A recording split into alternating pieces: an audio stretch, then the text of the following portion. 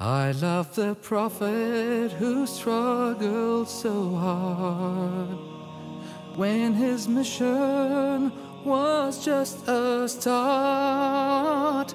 He held the hands of each companion, unashamed to play with little children, with little children. I love the prophet who struggled so hard. I love the prophet who struggled so hard. Assalamu alaikum wa rahmatullahi wa barakatuh and welcome back to another episode in our program How He Treated Them. Bismillah ar-Rahman ar-Rahim. Alhamdulillah. Wassalatu ala nabihi Mustafa wa ba'd. My dear viewers, today inshallah I'll get to speak about how did Prophet Muhammad sallallahu alayhi wasallam treat women. And this is indeed a very sensitive topic, especially when everywhere we go, a lot of people raise questions about the position of women in Islam, and there's a lot of myth in this respect. So today, inshallah, we're going to lift the fog and explain to the viewers and share with you how much women have been appreciated and granted rights in Islam more than any other time before, or even of our current time. In order to do that, I would like to welcome our guests, Sheikh Ibrahim, Sheikh Muhammad Saeed, and uh, Wasim, Sheikh Sheikh Wasim. Thank you all for joining us. And without any further ado, I remember in Surah Al-Nahl, chapter number 16, correct? In uh, ayah number 97, the Almighty Allah says, من عمل صالحا من ذكر أو أنثى وهو مؤمن فلنحيينه حياة طيبة. فلنحيينه حياة طيبة ولنجزينهم أجرهم بأحسن ما كانوا يعملون. I'm going to ask Sheikh Ibrahim to comment on the meaning of this ayah. And explaining how much Islam appreciated women. And according to this ayah, uh, Islam does not make any distinction in respect of doing good deeds, being uh, um, responsible worshippers and citizens uh, between a man and a woman. The ayah makes it very clear that there is no distinction between them in this respect. Bismillah Alhamdulillah, The ayah as it clearly states, whoever do righteous good deeds. Mm. من ذكر أو أنثى وهو مؤمن. The two conditions for these deeds to be righteous, it has to be with the foundation of al-Iman, faith, Mm. and it's a righteous deed according to the way of the Prophet ﷺ. Mm. So whether it's a male or female, Mm. everybody in the eyes of Allah subhanahu wa ta'ala are the same. He's the creator of all. And this issue actually was never an issue among the Muslims. It's but has it been ever like that before Islam and before Prophet Muhammad? sallallahu alaihi wasallam? before it was always the rule of those who are more physically powerful. Mm. And that's why women have been oppressed and, and, and abused Mm. throughout centuries the, in the humankind. This is how they are, unless they would be under the rule of the deen of Allah subhanahu wa ta'ala Mm. that bring justice and mercy and so on. Mm.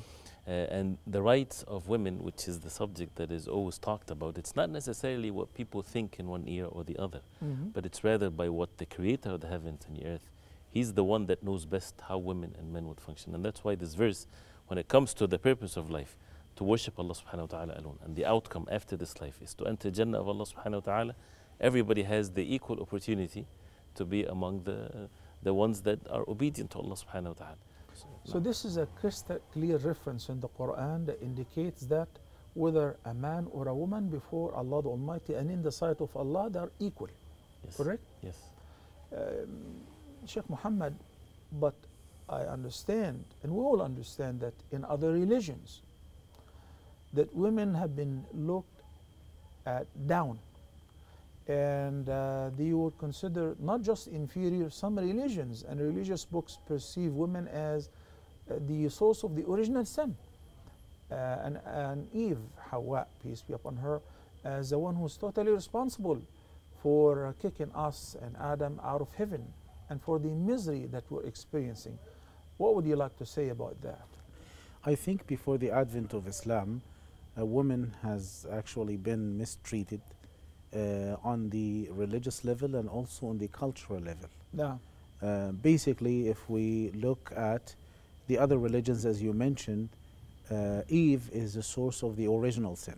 Mm. So she is uh, she is responsible for uh, the basic sin which caused Adam to be driven from the uh, heavens, Mm. and consequently, most of the legislations which resulted from this uh, were basically based on mistreating women. Yeah, but And unlike putting what the her- Quran said, فَأَكَلَ منها. Exactly. The Quran actually uh, talked about the original sin, refuted the original sin in two ways. Number Mm. one, no soul can actually bear the responsibility of other soul's sin. لا And تزر لا تزر وازرة وزرة وزر وزر أخرى. And Number two, both of them were actually responsible, and Allah subhanahu wa ta'ala, when He taught them how to repent and return back to Him, He taught both of them, Adam and Eve. Every ayah in the Quran, every verse in the Quran tackled this subject was mentioned in the dual format. وقاسمهما فأكلا Exactly. So Mm. Allah subhanahu wa ta'ala emphasized the mutual responsibility of both men and women. Mm. If we look at the other religions, uh, the old Indian religions, Mm. how they looked at women, they uh, looked at her that she is a source of evil. Mm. Even the Arabs in the pre-Islamic period of ignorance, they inherited some of those cultures. And you can read it from all the legislation in Islam. Mm. And most of the uh, basic, uh, most of these legislations which address women, you will find that Islam made a change Mm. in those legislations tremendous change. tremendous changes. Like, for, for example, they, they treated her that she is a source of uh, dishonoring her family Mm. and tribe. That's why uh, they used actually to kill, kill her. Uh, To bury her to bury alive. her. Yeah. Mm. Some of us, we talk about the waiting period, for example, in the Islamic uh, law. And we know that when a person dies, his widow is supposed to wait for four months and 10 days. No. And before that, there is another ayah, which says that it's only it's full year, full one year. It used to be before. Exactly. full year. But but nobody actually read about the background of it. yeah. How a woman, number one, was actually badly inherited in the Isla- in the pre-Islamic period of Jahiliyyah. Mhm. She was in when a man dies, his son inherits his father's widow. And number two, Y- she has You mean his stepmother, his stepmother. not his E- exactly, No. for sure. And and if she uh, So if she become his. Exactly like- she becomes like immediate property. yeah, and she is deprived of the right of inheritance. Mm.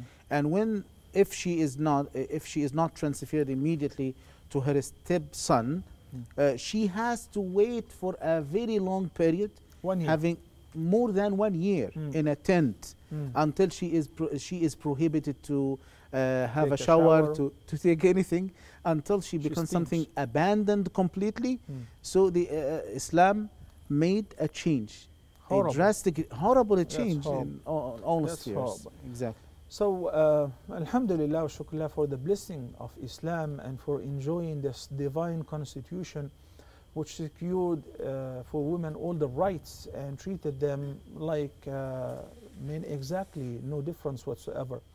Sheikh Wasim, to make this drastic change in a society and in a time or an era where it was the norms, women were perceived as inferior, deprived from the least rights.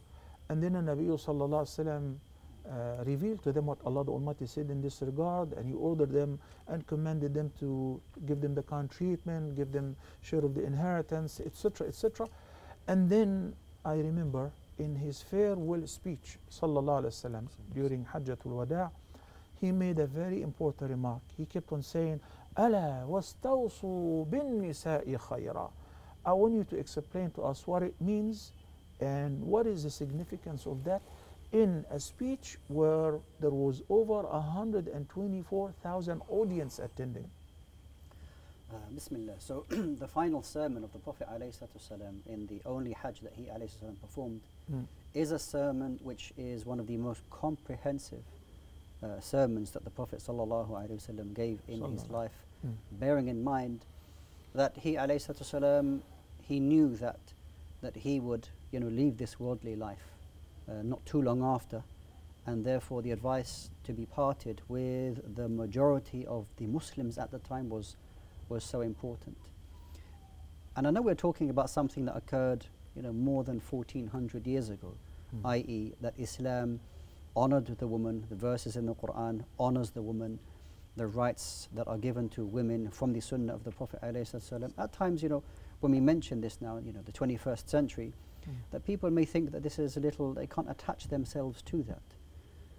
But then it gives me an example that, you know, when so many people try to uh, say, you know, bad things about Islam, uh, it reminds me of a person who's looking at your home and his own house is on fire and sees the reflection of the fire, doesn't realize that the reflection of the fire that appears to be on that individual, his neighbor's home, when actually, in actual fact, his own home is burning down. And in many societies around the world, women are still fighting for basic rights. Mm. Things like they have to set up, you know, small organizations. We want similar pay. We want similar opportunities. Even And today, Even to this day now. in the West. in the West, this is what we're talking about. Yeah. So, subhanAllah, the, and this discussion really is, is a very deep and a very important Yeah. think, discussion because it is, uh, us, for Muslims, we shouldn't feel as though we need to defend ourselves with regards to It's what Islam to has given to explain to, others whom we are. Not only we, we defend, at times very important, but at the same time is to make clear the proponent who's talking to you from what standpoint, what moral standpoint, what ethics, or what, where do you come from in this? You're talking about a society where 150 or 200 years ago, you were, your churches were discussing, does a woman have a soul? Yeah. Subhanallah. Or So- is, is she even a devil? If she, is she well, if she doesn't have a, a soul, then uh, she is uh, to be understood as a devil. You're right. So, Islamically, Alhamdulillah, Allah Ta'ala gave us so many, gave the woman so many things which Mm. elevates her status. You know, the Prophet, ﷺ, I'm sure we'll talk about this later, about the status of a mother over the father and the inheritance, the special inheritance that's given to the woman. We should feel honored and alhamdulillah proud. All Muslim women should feel free that Allah subhanahu wa ta'ala is the one who gave them these rights and that women or anyone else is not waiting on the decision of any human being to give them something. So it was the greatest man ever walked the earth, Prophet Muhammad who communicated the message of the Almighty Allah to people who were living in the Bedouins with no civilization or almost a little bit of civilization. And he made them leaders, beginning with stating that uh, the fact that men and women are alike. And there is a hadith, ya Sheikh Ibrahim, this is a sound hadith narrated by the mother of the believers, Aisha radiallahu anha, in which she quoted the Prophet sallallahu alaihi wasallam as saying, إنما النساء شقائق الرجال. I feel like I love this hadith. And I have a problem with people who they judge Islam because of the behavior of some Muslims. We keep saying we as Muslims would like to make distinction between what is religious and what is cultural. There is nothing in Islam called the honor killing, right? There is nothing in Islam called that you you force your daughter or the girl who's under your guardianship to marry somebody whom she does not like, and so on. So, in the light of this fascinating hadith, إنما النساء شقائق الرجال, would you like to share with us in this regard? Allah barik fik. As we know that in the Quran and in the Sunnah of the Prophet ﷺ, it is not just a statement that shows that women are, you know, they are like them and they are, uh, even the word, maybe you guys can help me out with the, what's, what's a beautiful word for shaqa'iq? It's like a, a complementary, Counterparts. yeah, counterparts. They go work together. It Right. actually has several meanings. Yeah. Hmm. Uh, it, it, it could mean equivalent, Hmm. and it could mean shaqa'iq, mushtaq from, like, you Mm. know, they're all having the same origin, Right. okay, Derivative. driven from, and this is how uh, Hawa, she's Right. created from Adam's rib. So this is a piece of you, this is a part of you. No one says to uh, one hand, you're inferior to the left leg or uh, the right eye to the left Right. eye, you know. The whole body is alike. Right. Or And, the uh, other half. Shiq and is No. the other Uh, half. And because of that meaning, people, when they think of women, they think that they want them to be a mirror image of the men, especially when it comes to the outside world. Yeah. We're sitting here in a, such a setting, And there are so many people behind the scene, nobody sees them. Yeah. But if they're not present, we won't, we won't be sitting here talking. Absolutely. And the same thing when you have a family and the husband is out there, he's the one that is facing the world, and he has a household, and the wife is playing a more important or as if as important as the, as the role of the man. And people don't recognize that as anything. And Allah subhanahu wa ta'ala, He's the most just. He created us to worship Him and to establish this deen. And the, the basic unit of any society is that unit of the family. And this word shaqa'iq, that means they're not necessarily having to compete with each other to do the same thing. Otherwise, uh, people will be lost in this world. Yeah. So there are certain duties, not everything. That's why the verse about the righteous good deeds, they all have to believe, they all have to pray, they all have to make dua, and read Quran, and do righteous good deeds, charity, all of the things. say if a man donated 10 bucks and a woman donated 10 bucks, right. is there anywhere in Islam that her donation is inferior as far as reward the donation of a man? Of course not. But even more than that, if a man gives his, his wife um, money, for example, mm. and she gives charity from that money, it's not her money, it's her husband's money. She gets the reward of charity, he gets the reward of charity. Wow. And this is the beauty of it. And that's, that's again, in the eyes of Allah subhanahu wa ta'ala, when it comes to the good deeds, everybody is the same. Yeah. But then it's the issue of the deficiencies and the weaknesses of the human beings because of their own uh, ignorance that they might sometimes judge things based on their desires, Mm. not based on the, the beautiful goals of the deen and the objectives of it. Before we take a break, Sheikh Ibrahim, uh, I know, mashallah, you recite the Quran with a melodious voice. Uh, so there is a very interesting incident where Umm Umara al-Ansariya, may Allah be pleased with her, once said to the Prophet that everything in the Quran, masculine, masculine, masculine, don't we get any mention in the Quran? And obviously in the Arabic language, masculine covers both. So if there are, you know, 100 women sitting and one man, then we're going to use a masculine, uh, you know, sense of form. It would be hum, not hunna. So when Allah says, Ya ayyuha alladhina amanu, it covers both, who you believe, men and women. But guess what? She says to the Prophet wasallam, how come that Allah does not mention women specifically? So Allah the Almighty responds to a woman, Umm Umar al-Ansariya. And he sends Jibreel alayhi salam with a revelation. Beautiful ayah 35 of Surah Al-Ahzab, chapter number 33. Inna al-Muslimina wal-Muslimat. I want to hear the ayah from you. Then after the break, inshallah, explain what it means. إن المسلمين والمسلمات والمؤمنين والمؤمنات والقانتين والقانتات والقانتين والقانتات والصادقين والصادقات والصابرين والصابرات والصابرين والصابرات والخاشعين والخاشعات والمتصدقين والمتصدقين والمتصدقات والصائمين والصائمات والحافظين فروجهم والحافظين فروجهم والحافظات والذاكرين الله كثيرا والذاكرات أعد الله لهم مغفرة وأجرا عظيما Indeed, that was beautiful. But inshallah, after the break, we'll get to learn the meaning as we have learned the reason behind its revelation. Couple minutes, brothers and sisters, and inshallah, we'll be back. Hang on, do not go anywhere. We'll be back in a few minutes. Stay tuned.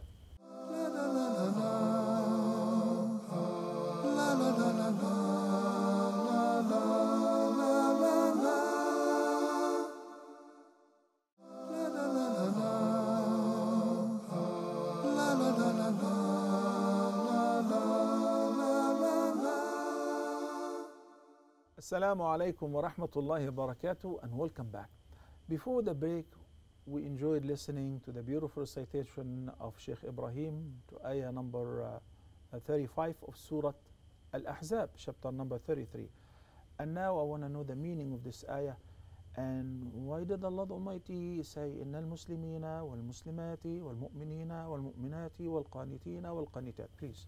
Bismillah ar-Rahman ar-Rahim. As it has been reported that Umm Salama came to the Prophet sallallahu alaihi wasallam, or according to another version, it is Umm Imar, Now, who noticed that uh, in the whole message of the Quran, only women, only only men are mentioned, Uh, so she came to the Prophet ﷺ, we don't have any type of address special for women. Mm. So the Prophet ﷺ recited this ayah on the pulpit, on the mimbar, in front of everybody, Mm.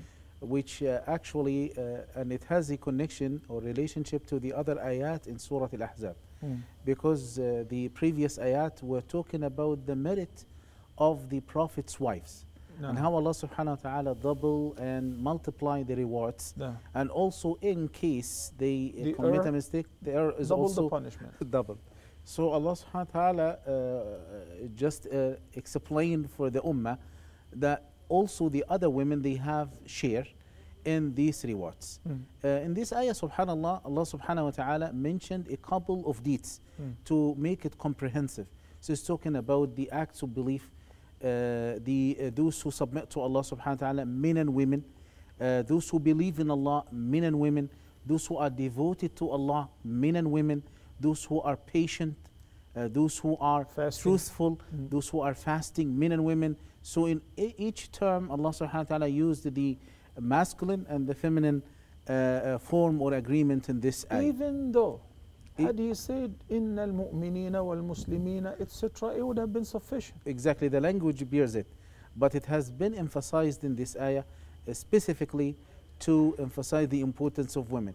Yeah. I had two notes actually about this ayah and the ayah that we recited at the beginning of the episode of Surah An-Nahl. Yeah. You see, Allah subhanahu wa ta'ala is emphasizing on the positive side of both men and women. Mm -hmm. So when He declared equality between the two genders, men and women, Allah subhanahu wa ta'ala is talking about the righteous deeds. Mm. And here Allah subhanahu wa ta'ala is comprehensively talking about all aspects of righteous deeds and qualifiers for And success. Exactly. Mm. Number two, uh, here this ayah emphasizes a very important principle in Islam, Mm. which is yes, men and women they are equal. They are Mm. not identical. And there is a difference between equality and identicality. Mm. In the sense, each one of them has his own different job and his own qualifications, which have been embedded in his character. And Allah subhanahu wa ta'ala created men and women, each one of them to complement and to cooperate Mm. and to integrate. Mhm. But at the same time, they are not identical. And this is, I think, the concept that has been mentioned throughout the ayat and also through the Prophet's treatment. جزاك الله خيرا. يا شيخ وسيم, every time somebody would take shahada, uh, the Prophet ﷺ would give him bay'ah, bay'ah, the pledge of allegiance. And uh, normally he would shake hand with the Prophet ﷺ and he would tell him what to do and so on. And sometimes the bay'ah would be collectively, like, you know, bay'atul aqaba, al-ula, then the second, and then there is a particular bay'ah which is called bay'atul nisa. Uh, يعني بيعة النساء what, what is the meaning of بيعة النساء So those who pledged allegiance, those who accepted Islam, or those even those who had already accepted Islam, but if you like agreed to certain conditions, but now the situation had changed, and further responsibilities were required of them beyond that, uh, that the Prophet ﷺ would uh, want to know that they are with him Mm. and agree to everything. So with the men, they would come at times. The leader of the tribe would be sufficient to speak on behalf of his tribe, shake his hand, and that would be enough for every everyone. And then other people, like men, for example, will come and shake the Prophet's ﷺ's hand. And this is a pledge of allegiance. However, the Prophet ﷺ would not, as he mentioned, "Inni la usafihun nisa," Mm. that I would not and I do not shake the hands of of women. Oh, so when it comes to giving the pledge of allegiance to women, it was verbally. Yes. It wasn't. The Prophet ﷺ never shook hand with a woman who's not his wife or his daughter or his, uh, you know, related to him, right? That's he right. said actually also a word of a woman is equal to the word of hundred one women. thou- a hundred women. That's right. So he would sit before all of them and he would say, بايعنني على أن لا تشركن بالله شيئا ولا تسرقن ولا تزنين. Great. My question actually, Sheikh Ibrahim, is on the day of the conquest of Mecca, the Prophet ﷺ, his bay'ah was general, but why was it called bay'atun nisa? Uh, Bay'atun Nisa, the pledge of the women, it was something to show that the women they have a bay'ah, they have a pledge separately, They were equally important. equally important. And the Prophet ﷺ would address them specifically. Uh, but moreover, uh, it become a terminology that is called bay'atun nisa, Mm. the bay'ah of women, even if only men are given the pledge. Mm. And this is in the case like in Bay'atul Aqaba uh, with the Prophet ﷺ. They were 12 men, but they said that we were given Bay'atul Nisa. Referring to the verse when Allah subhanahu wa ta'ala said to the Prophet ﷺ, يا أيها النبي إذا جاءك المؤمنات يبايعنك على ألا يشركن بالله شيئا ولا يسرقن ولا يزنين till the end of the verse, referring to specific orders from Allah subhanahu wa ta'ala for the women to mention to give the pledge to the فبايعهن فبايعهن واستغفر لهن نعم الله إن الله غفور رحيم even though it's perfectly understood that they are included uh, you know among the bay'ah of men but no a special pledge of allegiance for women right. and Nabi sallallahu alaihi wasallam was establishing the concept that women and men are alike in the mind of people who lived in a civilization or a community where they used not to have that. Wh- What are you talking about? Women and sitting and giving pledge of allegiance and being treated like you know decision makers? Yes, they are. So Right. إذا جاءك المؤمنات يبايعنك Mhm. then take and accept the pledge of allegiance from them Right. واستغفر لهن الله and seek forgiveness of Allah for them. Beautiful. Uh, And for the men to even say that it was been taken from us, bay'atun nisa. Mm. The men would say that the, the bay'atun nisa, the women pledge, have been taken from us. طيب Sheikh Muhammad what do you say when, when somebody wants to give da'wah like alhamdulillah we travel the world I believe all of us Alhamdulillah. so sometimes you feel like you know you're in a situation where you want to shake hands with a woman not because you want to but because she is the host of a program a TV program or um, uh, in a conference or um, an official person what do you say and what do you do? Basically, uh, uh, I would like to not restrict it to this particular uh, situation because uh, as Muslims, uh, we uh, abide by the rules that have been set by the Prophet Muhammad sallallahu alaihi wasallam. And also, I can say that even the Queen don't shake hands with any normal people. So you personally, you do not compromise. I don't compromise. But, but basically, in certain cases, when it is Islam is being stereotyped, Mm. in, in this situation, some of the scholars said actually, eh, according to the interests of the Muslim community and according to the interests of looking at Islam, if people in the West Mm. they look at women or at you uh, or at Islam in general from that very particular uh, perspective, it needs uh, some type of what you cannot compromise. Wh- what do you do Sheikh Wasim? Nowadays, yeah it's COVID 19. So, oh, that's a smart Good answer so I don't think anybody does it much anymore. you got us man Sheikh Ibrahim Wallah, it's very easy to uh, to just um, having the strength of al iman. This is what Allah Subhanahu wa Taala ordered us, but it's very we can add some lines to it. You know, Allah Subhanahu wa Taala honored me that the only one that I can touch is my wife. yeah. I remember I said that to a to a lady. Mm. She was a nurse, and she said, "I, I wish my husband is like that." wow I mean, she at first she got the shock, but then when she they need to contemplate over it, and it's okay. Uh, they, you know, eventually this is basically fits the fitra of the human being, their nature, but it's been corrupted and been covered with many things, and it's our job to initiate these types of things in them, and it becomes a reason for them to go back to their pure nature. And you know what should strengthen you further? The fact that in the West, I'm free to do whatever I want to do Mhm. as long as I'm not hurting you. I mean, when my wife was giving birth, in the room next door, there was a woman who lost a lot of blood in an operation. And she was literally going to lose her life. And then they needed blood transfusion. But she said no. And her husband said no. They said she's going to die. He said, even though. Why not? Because she's following a particular denomination uh, where the denomination does not permit blood transfusion. So they rushed and they brought the sheet and said, sign here. Sign a release of the hospital. We offered you, and he said, because of a religious commitment, I'm not going to accept the blood trans- transfusion to my wife, and she would lose her life. And they respected that.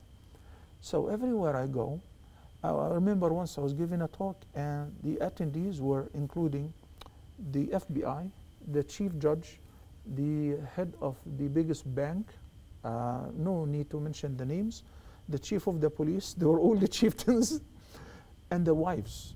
Then after I gave the talk, they applauded the talk, they clapped, and there was a long queue shaking hands. So when it comes to women, everyone with his missus, I put my hand on my chest. I acknowledge the fact that I only shake hands with men. And out of respect for these beautiful women, we do not touch. This is part of my religion. And Alhamdulillah, it has been always met with respect. I mean, I did not once have an objection where some people said this is too extreme or this is fanatic. You know, keep in mind always that Allah subhanahu wa ta'ala helps you if you're sincere in your intention. Whosoever seeks the pleasure of Allah, even if that may offend people, the Almighty Allah promises, من طلب رضاء الله بسخط الناس رضي الله عنه وأرضى عنه الناس. So Allah will be pleased with him and will make people whom he was afraid that they will be displeased, he will make them pleased uh, with him as well. Ya Sheikh Wasim, you know, I wanted Sheikh, uh, Sheikh Wasim because of the name, obviously. Rifq, gentleness, mm. kindness. The Prophet ﷺ was the most gentle human being ever. And that's why when the Prophet ﷺ was traveling in a caravan, you know the journeys are long. They travel for days and nights. So it gets very boring. And that's why they would have those servants who would chant. Mm. And the rest of the people would be chanting in order to undermine the journey and a long way. So there was a person, a servant by the name Anjasha, and he has a very good voice. And whenever he would sing, the camels would speed up and would hmm. rush. But these camels carrying women. So I think Nabi Sallallahu said, Ya Anjasha, take it easy. Rifqan bil qawarir. Take it easy on, not on the camels, on al qawarir. Hmm. Al qawarir, he was referring to the women who are riding on the back of the camels. What is the similarity between qawarir and women? Yeah, so, subhanAllah.